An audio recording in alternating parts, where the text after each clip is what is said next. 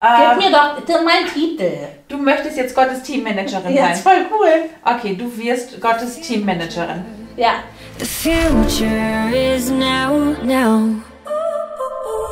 Ich mache Carpaccio. Da bin ich total uneigennützig. Ähm, das ist die noch gut, Kinder? Das ist Schimmel, würde ich sagen. Aber eine Zitrone, die schimmelt, kann man doch noch essen, oder? Wenn ich nur den Saft brauche.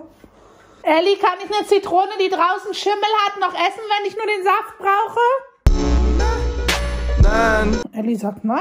Aber Elli hat ja nicht immer recht. Ja, haben wir hier nur gesunde Sachen? Ja, Bio, guck mal, Bio Vollmilch. Ach, neben dem Ketchup und der Hamburger Soße. Ist das eine Zitrone oder eine Limette? Warum ist die bei Zitrone? Die sah aus wie eine Limette. Also wir halten fest, eine verschimmelte Zitrone und eine Limettenzitrone. Ah, ich wollte sie gerade wieder in den Kühlschrank packen.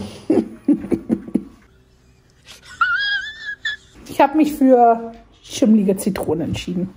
Auf Carpaccio macht Luigi immer. Bisschen Foodporn hier. Elli, erzähl mal unseren, ähm, ja, euch draußen da, was den da draußen. Irgendwann muss ich mir mal einen Namen für euch einfallen lassen, so wie, hey, ihr lieben Pappnasen, aber ähm, ihr geliebten Kinder Gottes. Was denn so heute ansteht.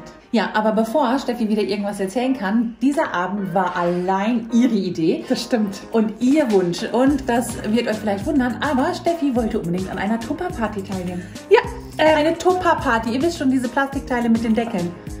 ja, du liebst Tupper. Ja, aber eine Tupper-Party? Ja, denn das ist nämlich ziemlich cool. Ähm, das ist eine WhatsApp-Tupper-Party. Und ich dachte, wir gucken uns das mal an. Es geht gar nicht heute hauptsächlich um Tupper, obwohl ich mich schon richtig auf meine frische Oase freue. Alle, die mich kennen, wissen, ich liebe Klimaoasen. Ähm, Also nur falls immer wieder irgendwer auf die Gedanken kommen sollte, ich sei die Spießerin oder so. Ne? Also diese Frau hier geht auf eine Tupper-Party. nein, wir bleiben zu Hause. Wir sehen, das- also ihr seht es, wir machen uns gerade hier Essen, Carpaccio. Also ich mache mir Essen, weil Ellen darf natürlich kein rohes Fleisch. Aber ich opfer mich, dass es halt schnell wegkommt. Das ist so lieb von dir. Ja, so bin ich. Ich dachte, es ist ziemlich cool, sich das mal anzugucken, weil Gottesdienste und so, wir müssen neue Formen finden.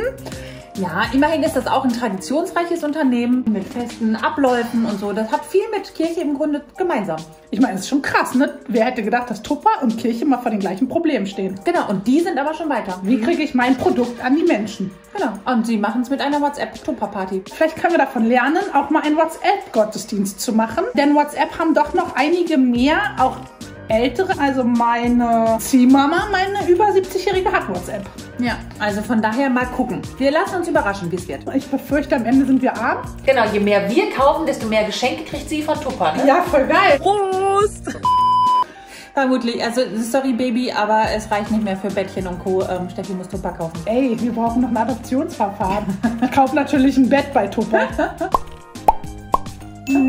Also, ähm, mal gucken, wie es wird. Steffi, jetzt musst du erstmal essen. Nee, das nehme ich mir mit zur Tupperparty. Alles klar, dann gehen wir rüber. Man nimmt doch so Salate mit zur Tupperparty. Bis gleich. So, Ellie und ich sitzen jetzt hier mit unseren Handys. Und die Gruppe stellt sich langsam vor. Wir nennen natürlich keine Namen, aber die Marion, das ist die Gastgeberin, mit der ist das alles abgesprochen. Deren Namen dürfen wir sagen. Die hat gerade geschrieben, sie ist jetzt bereit für uns in Jogginghose.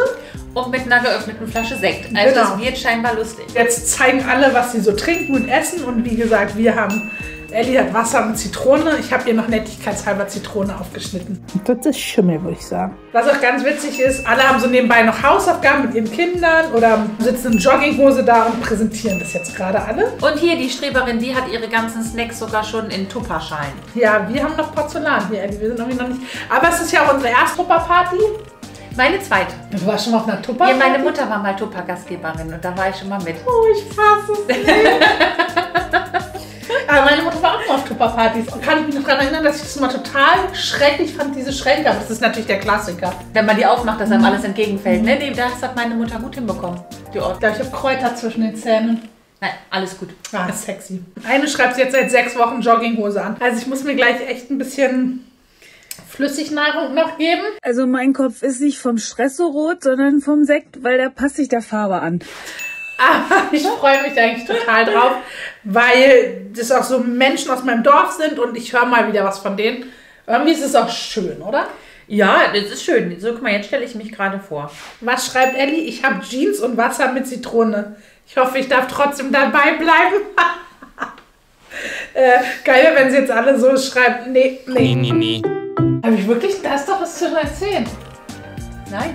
Ah, Der ist so ein ganz, wenn ich ganz nah hingucke, sehe ich einen kleinen Korn, aber mir auch nicht. Ach, ein Korn von deinem Ökobrot bestimmt.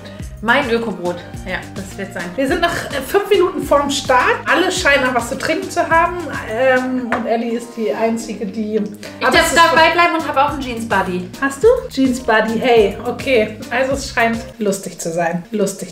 Genießt es und guckt euch einfach ganz in Ruhe alles nacheinander an. Und was, ihr, was euch überhaupt gar nicht interessiert, das klickt einfach weiter. Aber es ist alles interessant. Sie macht das toll, oder? Tati, so heißt nämlich unsere Tup, wie heißt das? Gas, nee, Gastgeberin ist Das ist die Mario. Tupper-Beraterin. Sie hat uns schon den Kalender für die Frühjahrscollection geschickt. Den Katalog. Was habe ich gesagt? Den Kalender. Ach so, den Katalog. Du hast schon reingeguckt. Ja. Ich will lieber die Videos sehen. Ich bin ja eher der visuelle Bewegtbild-Typ. Ja. Aber jetzt streng dich an, es geht in vier Minuten los und du hast noch nichts Intus. Also die anderen Frauen sind dir Ah, ja, ist ja gut. So, ich habe aufgegessen. Ich habe trinken. Aber ich finde, Tuppertante ist schon noch sexistisch, oder? Tati, wie nennt man dich? Ich frage mal. Ich frage mal Tati, wie, sich, wie ich sie nennen soll. Wenn man es ganz genau nehmen will, ist es Partymanager bzw. Teammanager bin ich ja. Teammanagerin. Das klingt auch wesentlich besser als Tuppertante. Ja, das, ich habe ich hab voll nett geschrieben. Hey Tati, wie nennt man deine Funktion? Tuppertante doch wohl eher nicht, oder? Also die Teammanagerin. Die Teammanagerin Tati. Tati hat uns jedenfalls einen ganzen Haufen Videos geschickt, die wir uns dann hier zu Hause mal angucken können, miteinander diskutieren, ob wir das haben wollen. Also mir gefällt dieses Konzept irgendwie schon ganz gut. Man guckt sich dann so ein Video an Wien und Westen. Nicht nur im Sommer seid ihr froh über diese Trinkstrohhalmbecher. und ähm, dann kann man sich entscheiden, ob man das haben will oder ihr auch einfach noch Fragen stellen. Also so wie man es bei einer, ähm, bei einer echten Tupperparty auch macht. Und die Gastgeberin dieses Abends, die Marion, die ist für die gute Laune zuständig und schickt uns zwischendurch Prost-Videos. Silvia, hast total recht, ganz vergessen. Prost! Marion hofft, dass wir ganz viel kaufen. Genau, je mehr wir kaufen, desto mehr Geschenke kriegt sie von Tupper. Ne? Ja, voll geil. Aber wir sind jetzt am diskutieren, ob Steffi den Eiswürfelbereiter bekommt. Ellen sagt, er ist total Schwachsinn. Moment, wir zeigen euch hier erstmal das Video. Der Eiswürfel. G29 für 18 Euro. Ich liebe ihn. Hier füllen wir das Ganze bis zur Markierung hier voll, machen den Deckel drauf und es kann schon mal nichts mehr rauslaufen. Wenn das Ganze fertig ist, dann können wir die ganzen Eiswürfel ganz dezent hier einfach so rausdrücken. Können wir ähm, Xing Shang Shang machen? Okay, wir machen Xing Chang Chong. Du gewinnst immer bei Xing Shang Shang. Das stimmt gar nicht. Jedes fünfte Mal gewinnst du. Warte, du machst immer das Gleiche, weil ich immer das Gleiche mache. Aber ich vergesse immer, was. Okay, los, komm. Xing Shang Shang. Mann, schon wieder. Ja, es gibt keinen Eiswürfelbereiter. Nein, bis drei Punkte. bis drei Punkte. Ja!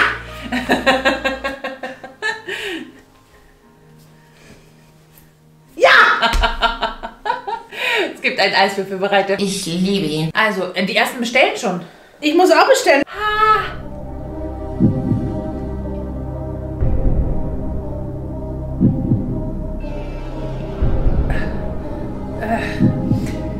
Also pass auf. Der Eiswürfelbehälter, Ja. Bereiter, Ja. der ist wirklich praktisch. Ich liebe ihn. Die kleine Schöpfkelle, weil die Ja. voll, weißt du, warum ich die will? Die Nein. diskriminiert nicht.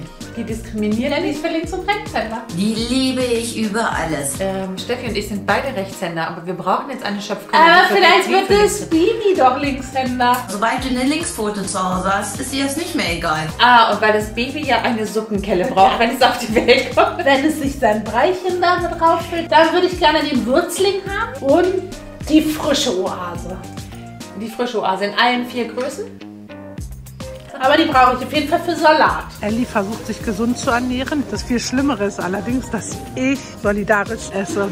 Aber ich glaube, das passiert nur einmal und nie wieder. Ach so. Ja.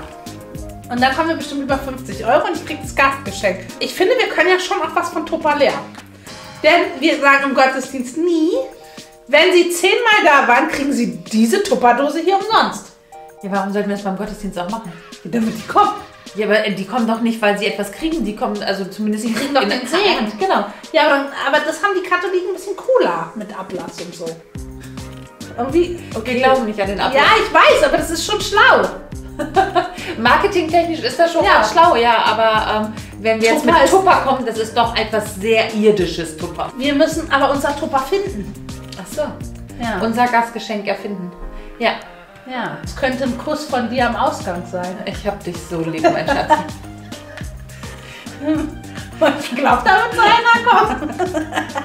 Oh, oh, oh, das ist nämlich auch voll cool, das muss man auch mal sagen. Wenn man über 50 Euro kommt und zwei von unserem Kreis für eine Tupperparty zur Verfügung stehen, dann gibt es die Naschkatze, das Naschkätzchen für weniger Geld. Ich kann keine Party machen. Ich bin doch nicht so weit.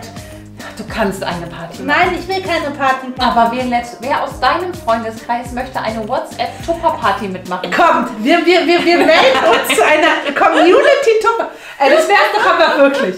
Passt auf, wenn sich hier welche finden, die bei einer WhatsApp-Tupper-Party mitmachen, dann machen wir eine WhatsApp-Tupper-Party. Eiswürfelbereiter, Naschkätzchen. Muss man da so eine Mindest-Fanbase dann haben? Also so, so 20 müssen mitmachen? Das müssten wir Tati wahrscheinlich Ey, wir haben fragen. zwei Mütter. Meine Mutter würde das zu schnell gehen, glaube ich. Oder wir sagen deiner Mutter einfach, was sie braucht. Wir als Neulinge in der Tupperbranche erzählen einer Expertin, was sie so braucht. Genau. i30 Mikroguckkanne, 1 Liter. Was kann die? Pellkartoffeln, Pudding, gebrannte Mandeln, Marmelade. Wenn ihr Bock habt, Creme fraiche. Da gibt es eine Kanne, die iCoop 300 Milliarden Special X Premium.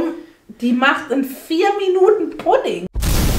Ich nenne sie mal die Kanne für alle Fälle. Schatzi, das ist nicht so, dass du die hinstellst und dann da kommt der Pudding Nee, ich mal muss da raus. irgendwas du musst es trotzdem noch anrühren und sowas alles. Das musst du schon noch selber machen. Ach so. Da ist meine Schöpfkelle. Da die ist kleine deine Schöpfkelle. Die kleine Schöpfkelle. Wie teuer ist die? 10 Euro. Ja. Ja, dann will ich die kleine Schöpfkelle. Die ist antidiskriminierungsfrei.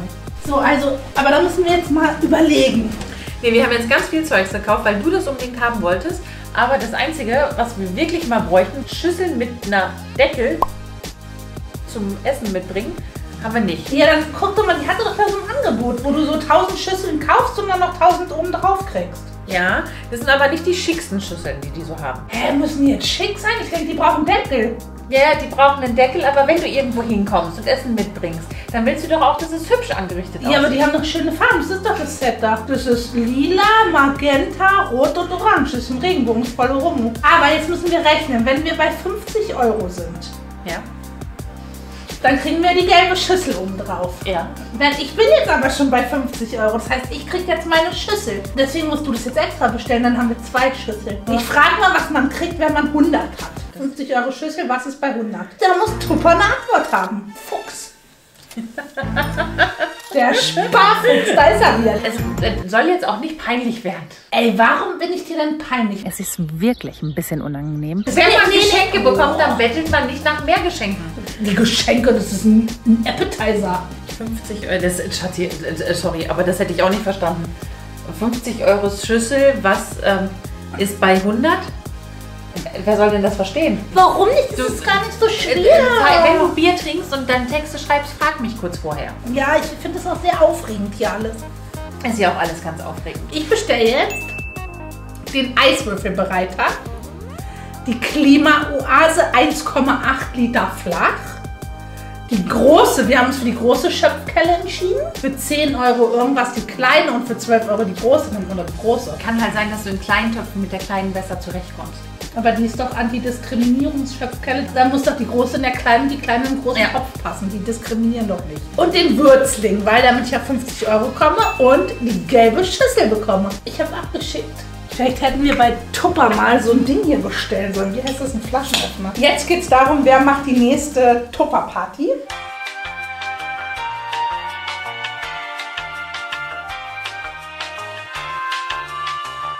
Ganz wichtig für die Gastgeberin, für unsere Marion also, weil wenn eine neue Party vereinbart wird oder zwei neue Partys am besten, dann steigen ihre Gastgeschenke. Aber wir können noch total viel davon lernen. Also das heißt, du musst Sachen einen Namen geben. Ich nenne sie mal die Kanne für alle Fälle. Also ich meine, wir sind ja immer Liturgie. Keiner kann was damit anfangen, ja?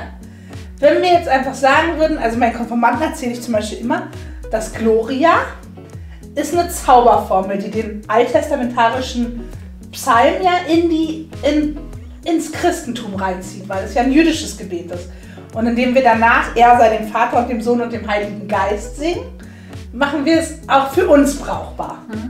Und Zauberformel können die sich merken, aber das große Gloria nicht. Nein, das könnt ihr sich nicht merken. Nee. Also, wir merken uns zuerst, was können wir von Tupper lernen? Gib dem Kind einen Namen, Gastgeschenke. Abgesehen von mir hat jede Teilnehmerin Alkohol getrunken. Vielleicht hat Sekt, spielt Sekt auch noch eine Rolle dabei. Prost! Also und auch diese, ähm, die Freundlichkeit, ne, mit der sie mit allen, auch mit, ähm, Und sie ist voll überzeugt von ihrem Projekt. ja, das ist, glaube ich, das So. Krasseste. Und das ist ja bei uns auch so, oder? Wenn ich sage, Gott segne dich, kommt nichts rüber. Ja, Aber ich mache, hey, das ihr geliebten Kinder Gottes. genau. Jetzt ist die Zeit für euren das Segen. brauchst du ja gar nicht mehr lernen, weil das machst du ja eh. Ja, aber das ist ja nochmal klar geworden, wie wichtig das ist.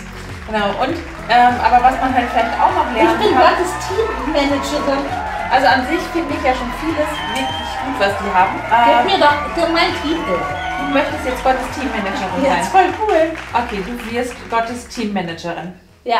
Findest du Gottes Teammanagerin besser als Pastorin? Ja. Okay. So now you're Woher kanntest du die eigentlich? Ich kannte die auch aus einer WhatsApp-Tupper-Party. Bist du zufrieden mit dem Ertrag? Ja, naja, Ertrag. Ich habe das ja gemacht wegen Gottesdiensten. Ne? Ich habe gedacht, ey, ich gucke mir jetzt mal andere Methoden da an und ähm, habe dann auch gedacht, ey, muss ich vielleicht die Leute ein Gastgeschenk in die Kirche locken? Nee. Nicht. Nee. Weil ich kann mir da nichts abgucken. Nee.